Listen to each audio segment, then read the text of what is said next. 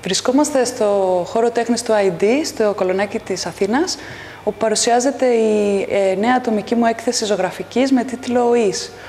Ε, την επιμέλεια της έκθεσης έχει η κυρία Μαρία Ξανθάκου. Ε, στην έκθεση αυτή παρουσιάζω μια ενότητα της τελευταίας μου δουλειάς, ε, μια σειρά έργων 22 στο σύνολο, μικρών και μεγάλων διαστάσεων, όλα λάδια σε μουσαμά, ε, καθώς και μελάνια, κάρβουνο και μολύβι σε χαρτί. Ε, πρόκειται για έργα που έχω δημιουργήσει στο Βερολίνο τα τελευταία χρόνια που ζω και ζωγραφίζω εκεί και εννοείται και προσφάτως ε, στην Αθήνα. Ε, ο τίτλος της έκθεσης «Ις» προέρχεται από την αρχαία ελληνική πρόθεση «Ις» που χρησιμοποιείται ως τώρα και για μένα έχει να κάνει με την πρόθεσή μας στη ζωή, την πορεία μας, το δρόμο μας αφήνοντας πάντα ένα αισιόδοξο μήνυμα ανεξαρτήτως των προβληματισμών και των αναζητήσεων των καθημερινών που συναντάμε. Πρόκειται για μια ανθρωποκεντρική δουλειά.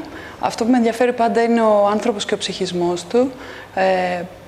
Ε, Πώς δρά ο εσωτερικός του κόσμου σε σχέση με τον συνάνθρωπο και το περιβάλλον του. Προσπαθώ να δώσω μια διπλή οπτική ταυτόχρονα.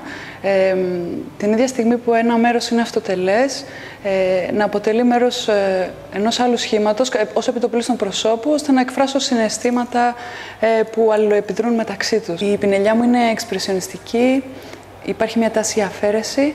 Ε, χρώματα και φόρμες ε, συνθέτουν μια εικαστική κίνηση ένα έργο με γνώμονα την εσωτερικότητα και την ευαισθησία. Με μια λυρική διάθεση.